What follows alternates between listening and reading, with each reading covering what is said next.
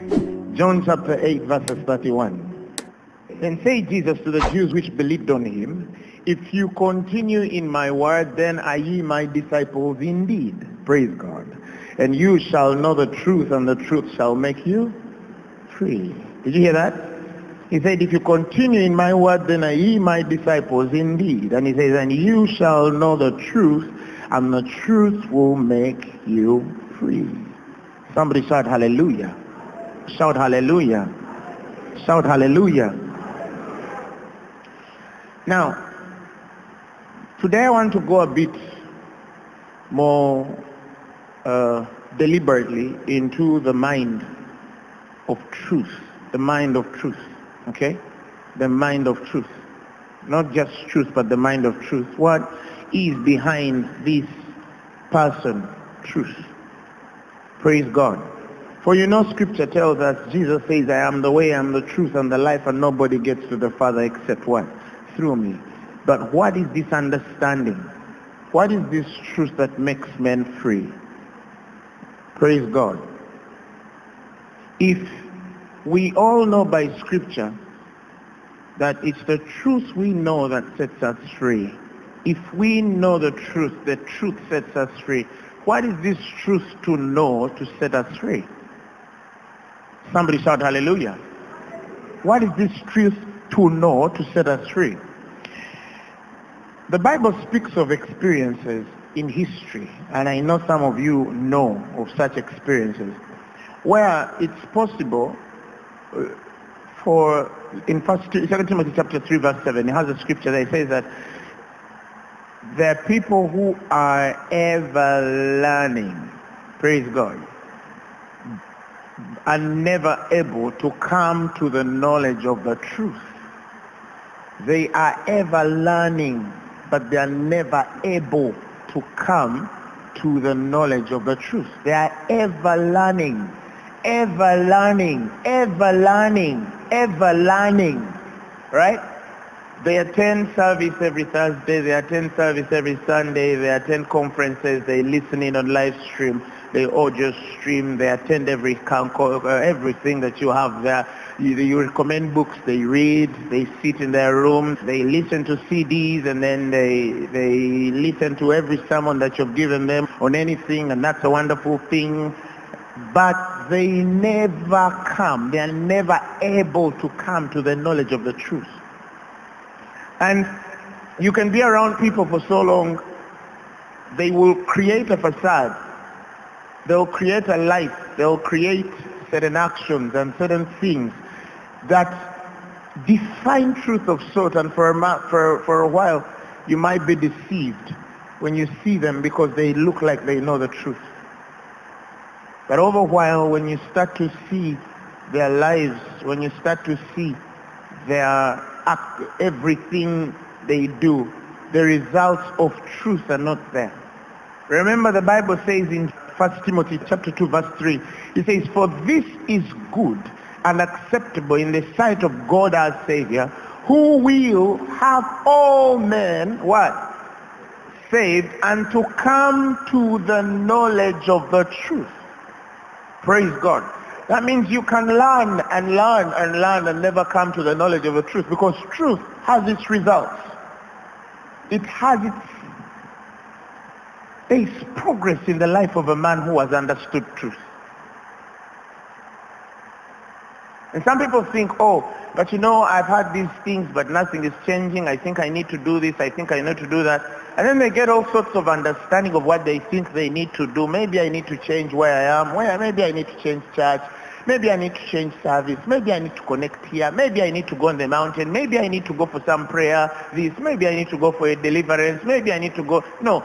You are learning but not coming to the knowledge of the truth. When you know the truth, the truth will make you free. So don't think that when you ever learn and have not come to the knowledge of the truth, somehow there is going to be a shortcut that is going to take you there. Until you know the truth, you will never be free. I don't know how certain people don't get it. The Bible says in 3 John chapter 1 verse 3, he says, For I rejoice greatly. This is him rejoicing. He says, I rejoice greatly I rejoice, chapter 1 verse 3. He says, for I rejoice greatly when the brethren came and testified of the truth. He says, that is in thee as thou walkest in the truth. He said, I rejoice greatly when I had the brethren testifying of the truth that is in you, even as thou walkest in truth. You know, the result of the truth being in man is that man starts to walk in truth. Now, when you read the literal word there, the Greek word there for walking in truth, it means that there is progress and results in your life of truth, in your understanding of truth. You are from one level to another level. Something increases on your life more than your weight. Hallelujah. Something increases on your life more than your age. Something increases on your life more than your hair on the head. Something increases on your life. It increases on your life. It just, something adds on you. That's why he's rejoicing. He says, they came to know the truth even as thou walkest in the truth. You know, the, the reality of truth being in them was evidence as how they walked in truth. That means you can only walk as is in you. Somebody shout hallelujah. You can only walk as is in you. You can only function as is in you. You can only progress as is in you. You can only have results, positive results as is in you. You can only see miracles, signs and wonders as is in you. Whatever is in you is what comes out of you. You can only walk as is in you. Right? That's why I told you the word walking there means to progress. To progress evidently. To progress evidently. So that when somebody sees you, they can see there is evidence. You remember when the scripture says, give yourself wholly to these things? That your profiting will appear upon all that everybody who watches you or sees you says, hmm, there's something happening on this woman. And it's evidence that she has understood truth. Somebody shout hallelujah. Somebody shout hallelujah. Shout hallelujah. So, it is possible to ever learn. And you see, every time we say that, many Christians think of the other person. Huh, but this person in the ministry, this person, uh, uh, Turn the lights on you. Praise God. Turn the camera on what? On you. Are you coming? Have you come to the knowledge of the truth? Praise God. Have you come to the knowledge of the truth? Have you come to the knowledge of the truth? Do you hear God? If you remember, the time, one time I was sharing about Pontius Pilate and Jesus, a conversation between Pontius Pilate and Jesus in uh, John chapter 18 verses 36, where Jesus answered him and says, my kingdom is not of this world. If the kingdom were of this world, then would my servants fight that I should not be delivered to the Jews. But now my kingdom is not from hence. And Pilate, therefore, the Bible says, said unto him, Art thou king? And then Jesus answered, Thou sayest that I'm king. He says, To this end was I born and for this cause came I into the world. I have a sermon there. That I should bear witness in unto the what? The truth. And he says, and everyone that is of the truth heareth my voice. Everyone that is of the truth, he says, hears me. When somebody says, you know, I'm struggling to hear the voice of God, how much truth is in you? Or are you of the truth? Are you of the truth? Because there's a certain set preconceived understanding by prevenient grace that comes to every man who seeks to hear the voice of God. And this is to the end that a certain truth must be in your spirit. When certain truths are set in your spirit, the voice of God becomes clearer.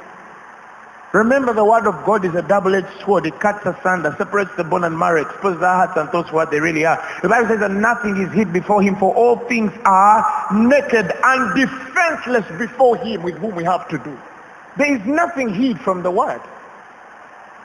There is nothing defenseless from the word. You know what it means not to be defenseless? It means there is nothing that cannot subject or listen to the word. When the Bible says for all things are defenseless to him, it means there is nothing that cannot bow to the word of God. There is no creator. There is no system. There is no substance. There is no body. There is no influence. There is no force. There is no order. There is no circumstance. There is no situation there is nothing that cannot bow to the word of God. It's not possible. Because it's by this word that everything you see was framed. Somebody shout hallelujah. But he says, when you, to this end came I into the world, and for this cause was I what? That I should be a witness of the truth. And he says, and everyone which is of the truth, the Bible says, they hear me. They hear me. They hear me. They hear me. One time in the book of Acts, if you remember very well, Paul stands before Festus. You remember Festus? And then they've taken him, right, to answer charges because there's false accusations everywhere, right? And then 26, Acts 26 verses 24 gives us a middle account when Paul is speaking to Festus. You can go back and study it very keenly. And the Bible says, and as he thus spake for himself, Festus said with a loud voice, Paul, thou art beside thyself. And he said, much learning doth make thee mad. This is Festus saying so. Agrippa is in the room as well, the king. He's listening. He's listening. A man speaks for many hours and somebody says, you know what? You're beside yourself. You are mad. There's something missing in you. He is speaking pure, absolute truth. A hundred percent truth. But there's a man listening to that truth and he's saying, you are mad. You are beside yourself. Evidently the things you're speaking show that you're learning much, but your learning is taking you to madness. You cannot argue that the man is releasing mysteries. You cannot argue that the man is speaking truth. You cannot argue that the man is speaking realities, but he cannot connect to the realities the man is saying. And as he's speaking, Agrippa is seated there. Festus is here. He says, you are besides yourself. Festus is telling him, you're losing your mind. You're getting mad. You've overstudied. Now things are starting to jangle in your head. Praise God. Now remember, he has been speaking all a while. Men are hearing. And we continue. Um, and then he said, I am not mad, most noble Festus, but speak forth the words of truth and soberness.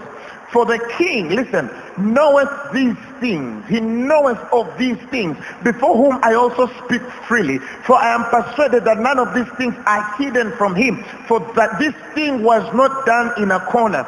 And King Agrippa, so he turns to King Agrippa and he says, King Agrippa, believe believest thou the prophets? I know that you believe them. And then Agrippa said unto Paul, almost thou persuadest me to be a Christian. Do you know why Agrippa says you almost persuaded me to be a Christian?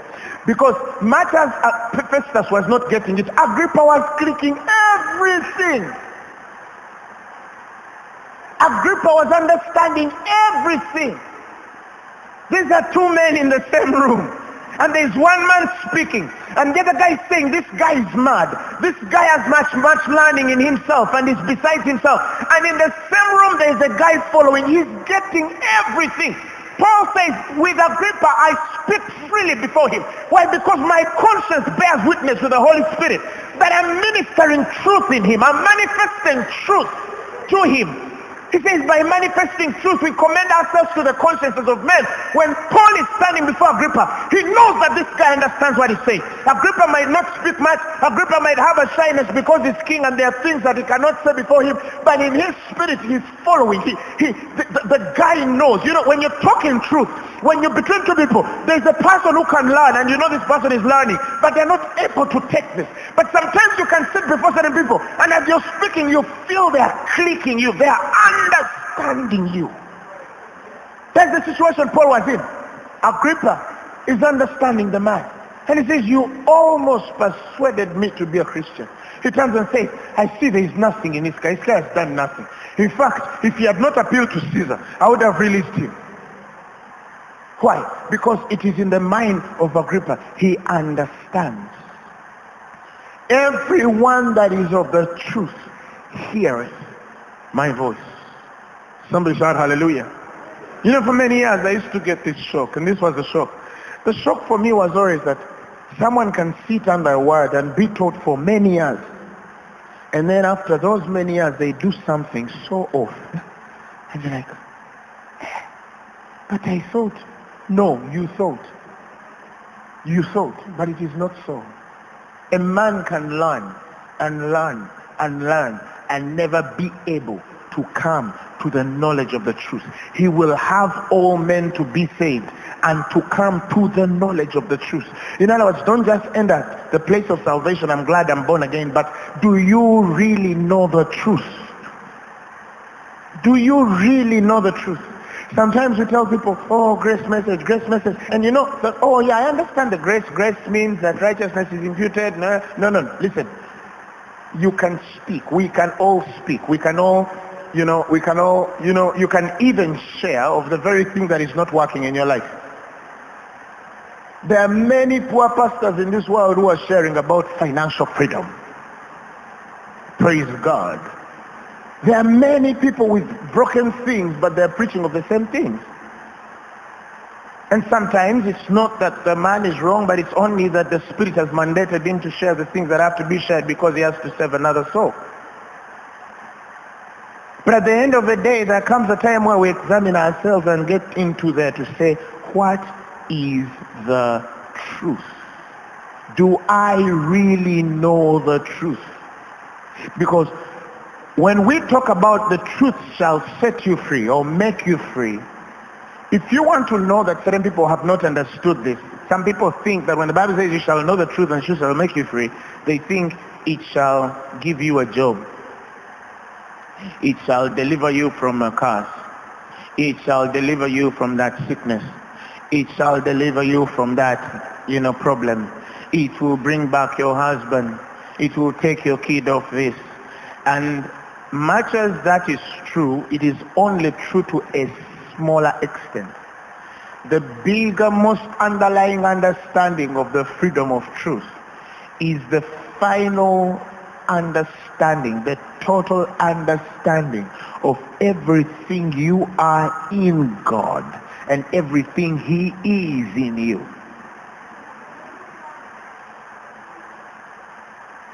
Are you following what I'm saying? It's more than just getting a job and getting a house. These things the heathens have also. Men who don't know God have also. But what is the knowledge of the truth? The knowledge of the truth is to know the person of Jesus Christ. That's eternal life.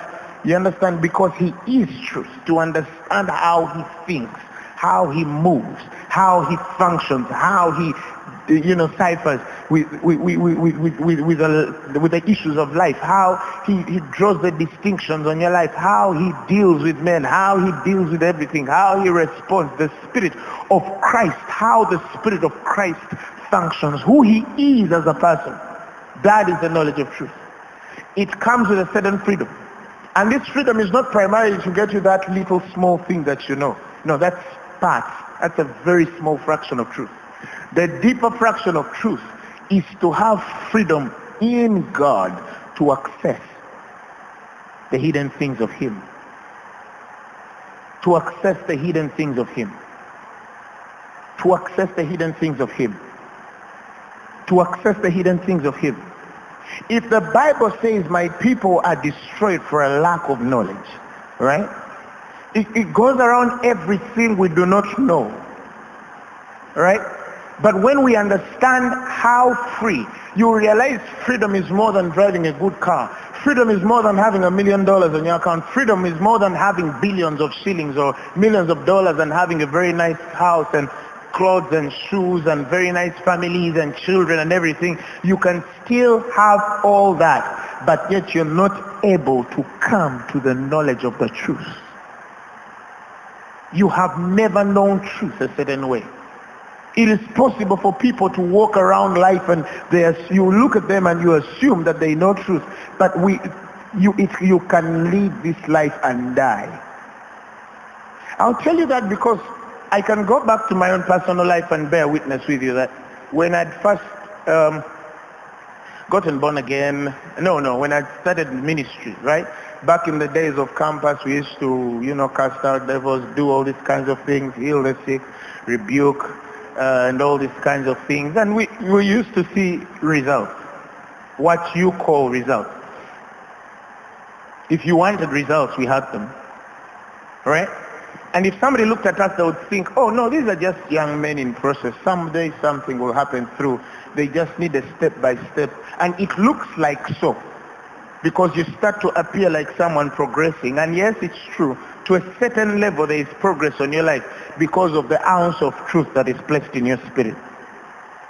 But there was a day the light went on. It's an experience. There's a day when finally your eyes open. You know, you can live all your life with a sort of blindness, a kind of blindness, and never know that you have it.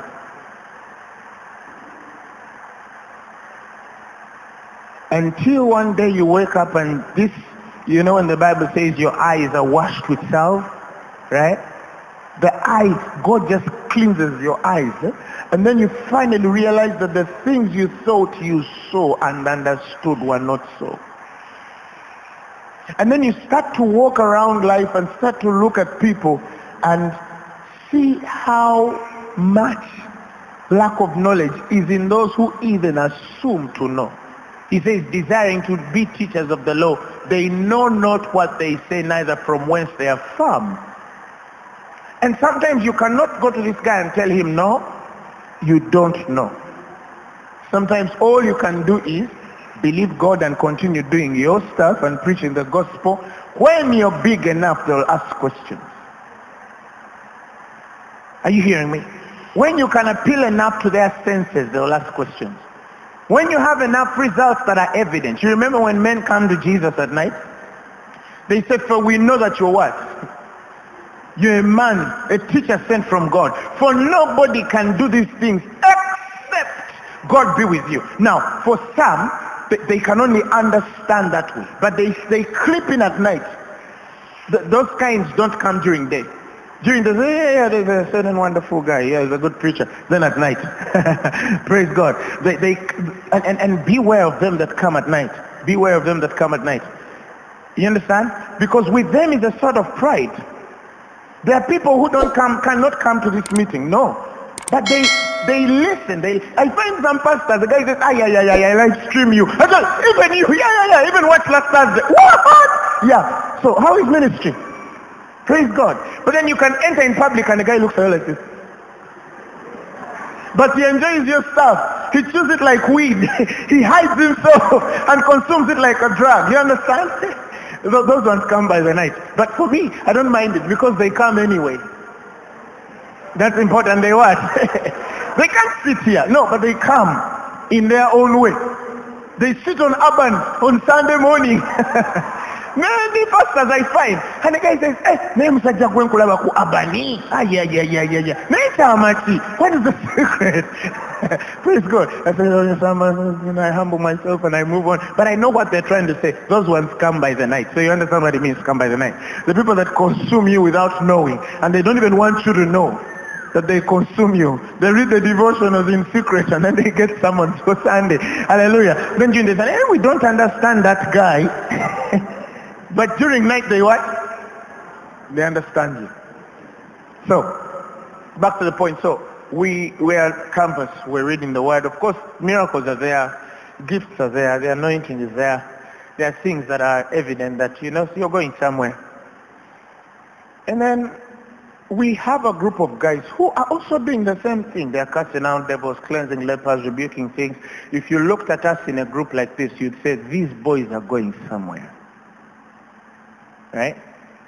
But over the years, I started to notice these guys, some of our people, our peers, they never moved on. So I was very disturbed. I was broken in my heart. I was asking, God, these are guys we saw you with. What, what did they miss? What didn't they see? And he told me it's very simple. They never came to the knowledge of the truth.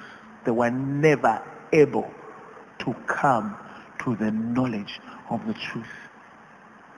Is it so that there are people who just don't have the ability to come to the knowledge of the truth? Then how will he have all men be saved and come to the knowledge of truth? That means everybody is able to come to the knowledge of the truth. Right? But you see, certain people set themselves against that light. They set, you know, it's very possible to set yourself against the knowledge of the truth, but then have a consequent, a, a, a, a, a perpetual experience of ever learning, but when you're set against the truth. It's very possible to set yourself against truth, right? Yeah, to rebel against the light. And the Bible says they know not the ways thereof, nor abide in the paths thereof. They know not the ways thereof, neither abide in the paths thereof, because they rebel against the light. And you can still sit in the church and you're ever learning. But your soul, your, your soul has rebelled against light. You will learn many things. You will write many things. You can even repeat the same sermons that they are preaching. But you will never walk in the truth. You will never have a progression of that ability to walk in the truth because you're not able. You're not able you're not able. He says they are not able to come to the knowledge of the truth. That it's, it's not a passive place of saying, I want to, but I'm not able. No. It is just something certain people set themselves against. And the only thing that holds us back to that place is the spirit of rebellion. You know, rebellion is a very interesting thing because it does not come in the things many people know.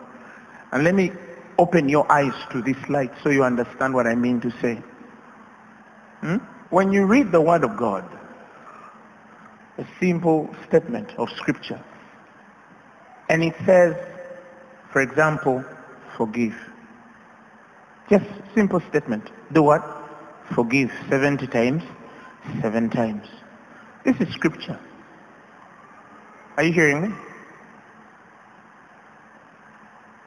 And then a situation comes through and then a brother, a sister, or somebody hurts you, a family member. And then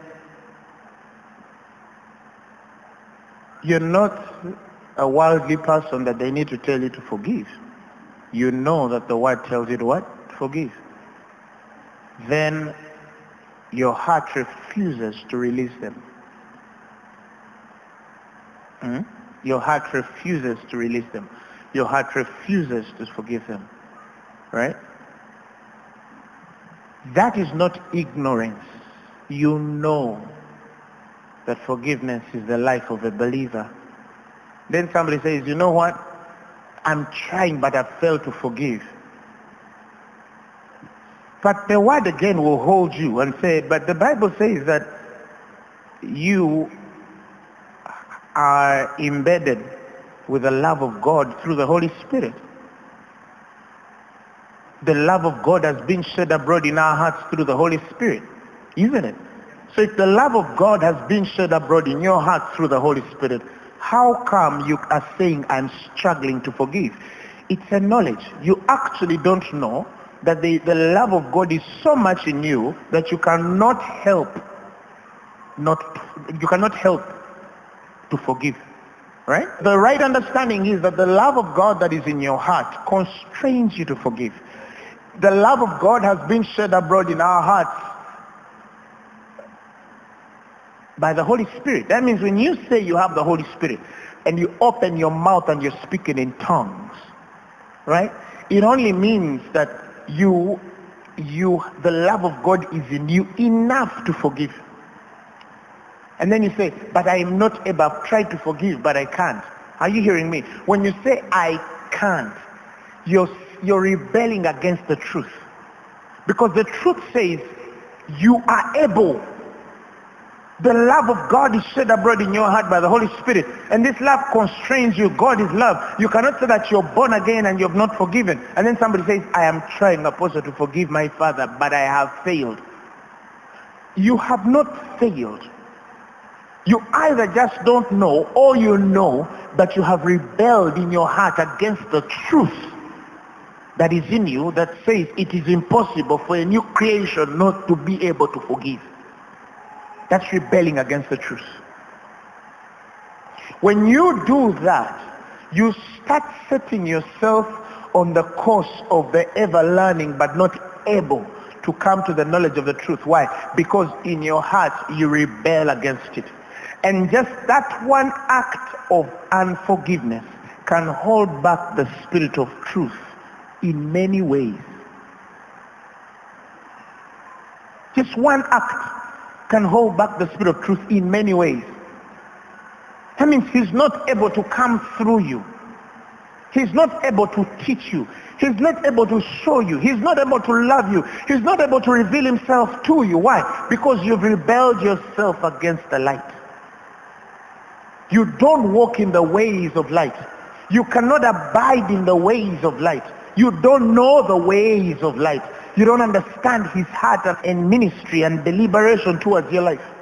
Why? Because you have simply refused to forgive. Yet you know the Bible says, forgive 70 times 7.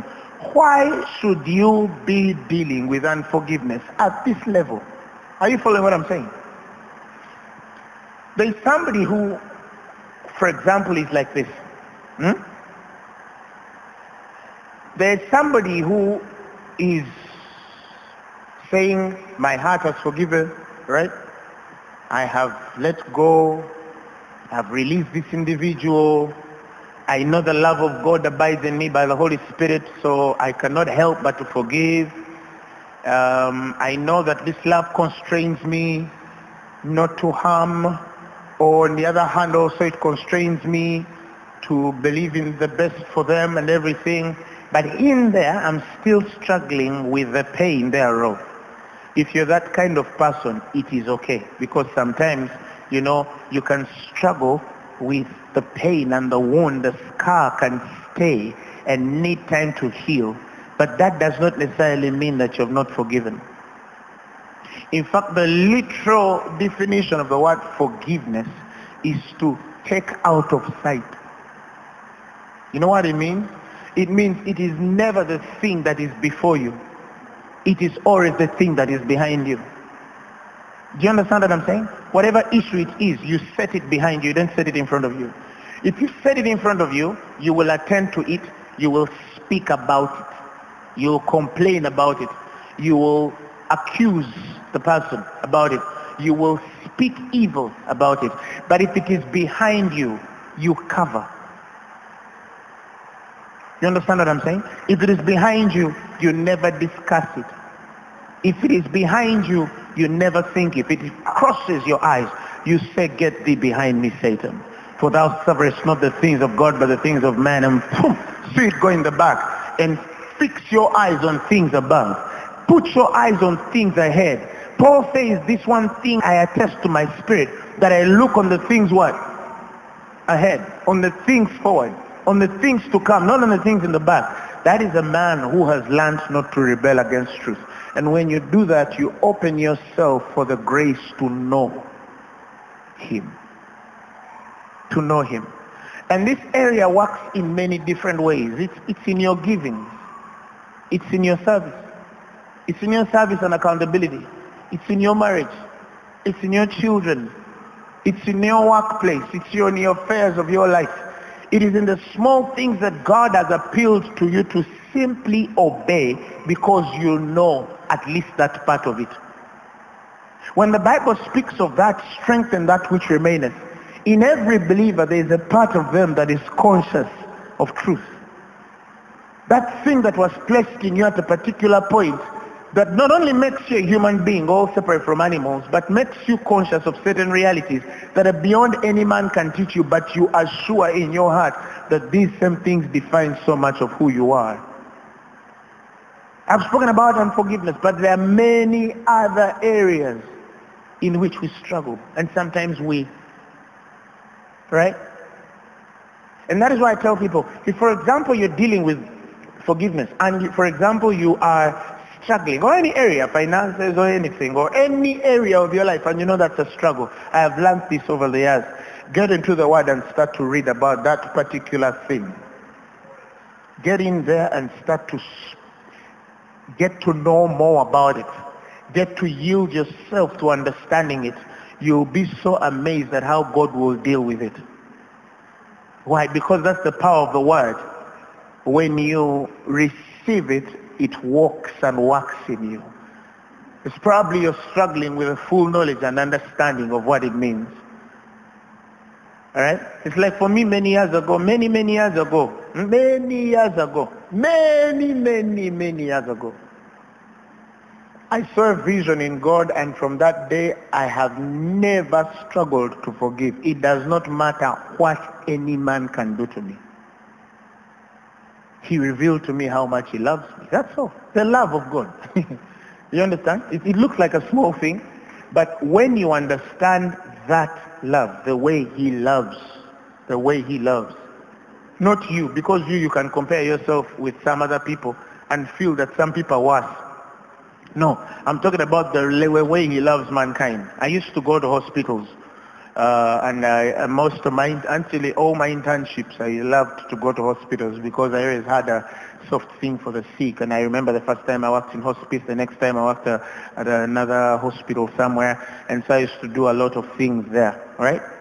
And you get to someone, and just the way they smell, huh? because of disease, just the scent, the stench that is coming off that human body, right?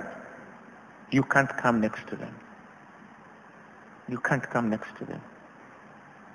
You're following what I'm saying. And then Jesus tells you, but you know what? I love that person so much that if I was there, you understand where I'm coming from? This is the flesh talking that I cannot come to such a stage, right? But then the Spirit of the Lord tells you, you know what? I died for that person too. They have value and I love them immensely. If I was in the flesh, there is nothing I would not do for them. Now, you don't even know what got them there. There's probably somebody, there's a story saying, aha, that guy deserves it. Do you know how many people he did this to? Do you know how, but you see, even there, the love of God was still present on that sick fellow. You could see it. He might not see it. He might look at himself in the form of judgment. I've realized that even the men who have aligned themselves eh, to judgment and they are at the point of destruction, the Lord still looks and weeps. Because he does not need, no, he does not want any to perish. God does not want any man to perish. It doesn't matter how wicked they are, he does not want any man to perish. It doesn't matter how bad that woman is, God does not want any man to perish. Any man. It doesn't matter how bad they are. He doesn't want any man. So when you have that understanding, you find yourself loving men. You just find yourself doing it. Just do it because you see the love of God toward you, yes, but also toward mankind and how he deals with men. Are you hearing me? And then you start entering the love walk. You start living the love life. You start responding to love a certain way. People ask themselves, how come this fellow he's never said anything against me? That's just who he is. He is obedient to the light. Are you hearing what I'm saying? And those things open the spirit of revelation on your life.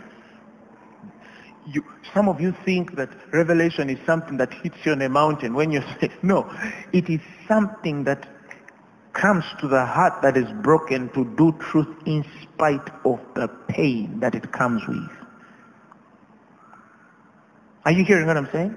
You think there are no times we were broke and then God says, give me my tithes anyway. give, give, give anyway. Do you know how hard it is to obey truth when everything has set itself against you? But it is in those things that a man says, you know what, I am willing, God. I am softening myself to your word and truth. Every time you become obedient, are you hearing me? In the small things, you open up yourself to the knowledge of truth. Every time you rebel in the smaller things, yeah, you start to, it's like recently I saw a Christian, a, certain Christian abusing another Christian. And I said, how can your mouth say those words? How can you, how is your mouth able to say such words? Then this person switches on the, the, the, the, the debate and says, but he, we are not talking about what they have done here. We are, and, and that's why I say some people are not able to understand. Have you been around people? That's why sometimes some people are just not able to understand. Even if you explain to them, they're just not able. And I'm telling you, no, no, no, no, no, no, no, no, no, no, hit here. We're not talking about what they have done to you, what this individual has done to you. We're talking about you here. That somebody can snap you and it changes who you are. You understand what I'm saying? That means that evil has consumed you. And if the evil of a man has consumed you in the time when God has given you grace and wisdom to discern judgment, when calamity comes, then you're worse than that man. Because he's only done that to you because he does not know better. And you've responded to him because you know worse than he knows, less than he knows. Are you hearing me? So I want to get into this individual and tell him now, the point is not what they did to you. The point is that your heart has set itself. You know what to do. Your speech should always be with grace. But you have chosen to speak a certain way. If this person has told me, oh, it just hit me, I'm sorry. That's a man still saying, God, your law is in my heart. I have made a mistake and I understand it. Right? That man is still open to the knowledge of truth. But this one says, but she, but he. That means we are not even at the point where you want to know what truth says. You, it's regardless of what truth is, or that the truth in you can be tipped to a level where it goes out and you become carnal and walk in the flesh. That is rebelling against the truth.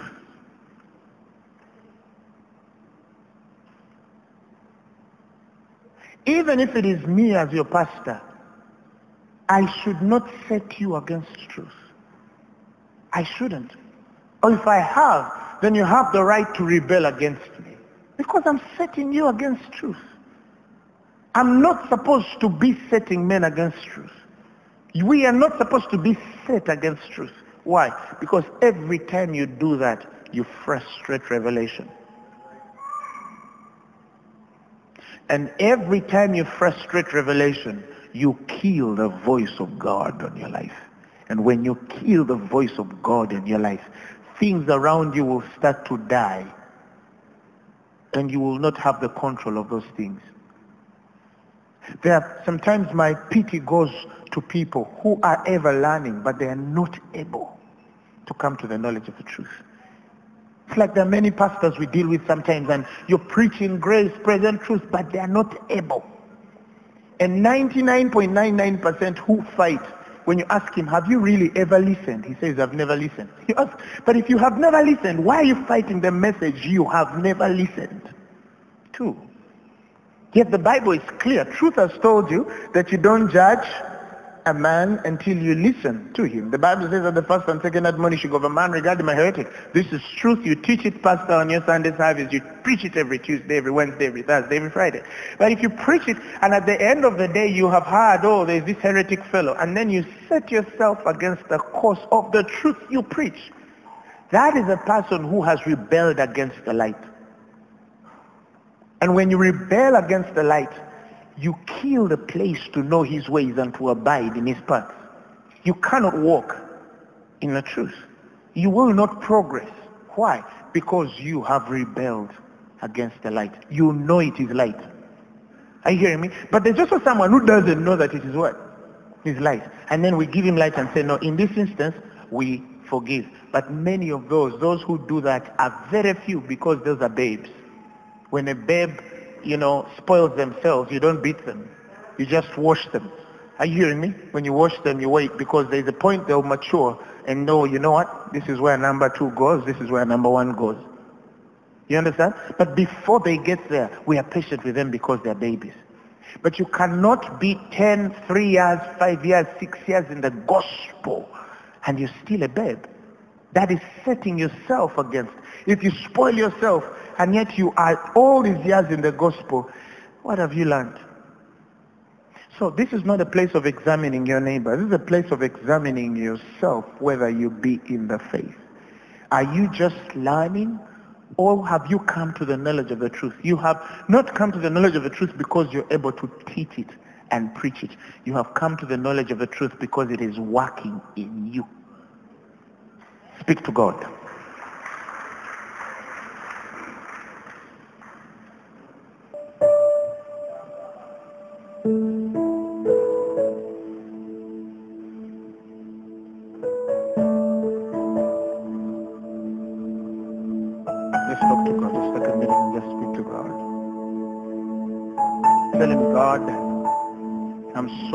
Rebelling against the light.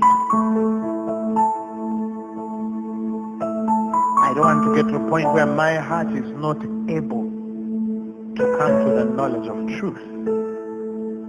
That will mean I'll just spend time ever learning and learning and learning, but without the progress of the things that I hear. And if there are parts in me that hold you back to speak to me, then reveal those things to me Talk to me about those things. Bend me and break me because you know I love you. You know I want to serve you. You know I want to live for you. You know I want to be what you have ordained me to be. You know that I cherish your word. You know that my heart needs to explore your goodness and understand you because that is the purpose for which you sent me on this earth. You did not send me to be an average person. You sent me for greatness. And so if there's things in me that you know rebel against the truth,